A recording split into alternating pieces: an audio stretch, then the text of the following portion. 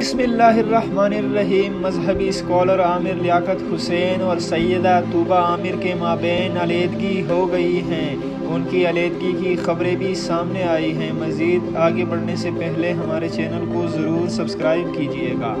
आमिर लियाकत हुसैन और उनकी दूसरी अहलिया सैदा तूबा आमिर के दरमियान मुबैना तौर पर अलीदगी की खबरें सोशल मीडिया पर गर्दिश कर रही हैं, जिससे उनकी जानब से तरतीब भी की गई है, लेकिन अब हैरान कन तब्दीली ने नए सवाल उठा दिए हैं। शोबिस की उभरती हुई अदाकारा सैदा तूबा ने सोशल मीडिया अकाउंट पर अपना नाम तब्दील कर लिया है।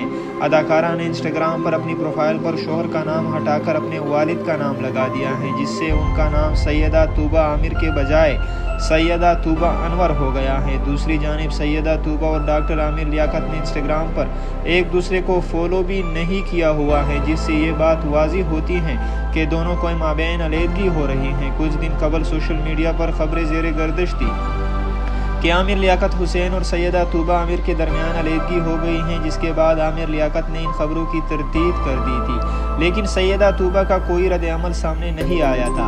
आमिर लियाकत हुसैन की दूसरी शादी 2018 में उस वक्त सामने आई, जब इलेक्शन कमीशन ने उनके खिलाफ कागजात नामजदगी में दूसरी अहलिया का ज़िक्र न करने पर दरख्वास्त दायर हुई। इस मौके पर आमिर लियाकत ने ई सी पी में पेश होकर मौक़ अख्तियार किया कि उन्होंने अपनी बीवी के हवाले से कुछ नहीं छुपाया।